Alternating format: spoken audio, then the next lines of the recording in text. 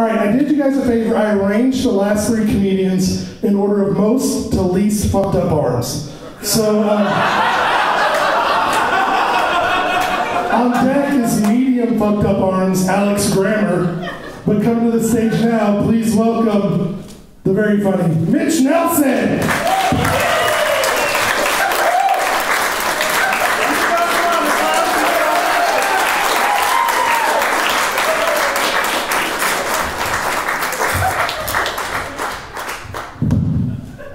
Right?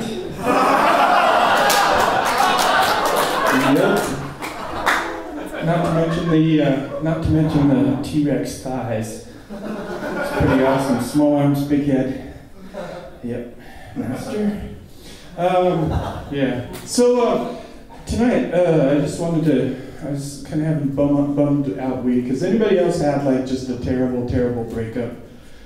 Like the love of your life. Let's cheer. yeah, it's terrible. Like it's been two years now, but I've been divorced, and uh, it's just awful. I, I, um, yeah, give up on uh, you know thinking I'm ever to be able to find another person, and this body is not a chick magnet. so, but. Uh, uh, the other week, though, uh, maybe I was actually like last month. Um, it's been a little bit in a while coming, but uh, anyway, I was uh, uh, holding hands with a girl, and I was like, "Ooh!" I said, "I go, you know, this is the longest I've held hands since my divorce." And she kind of let go real quick, and got all awkward.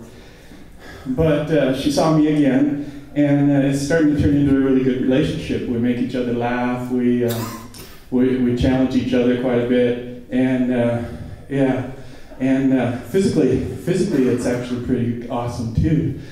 She says I'm hot, which is really cool, and except that it's her fault because she knows so many freaking positions. It makes me hot. It's really awesome.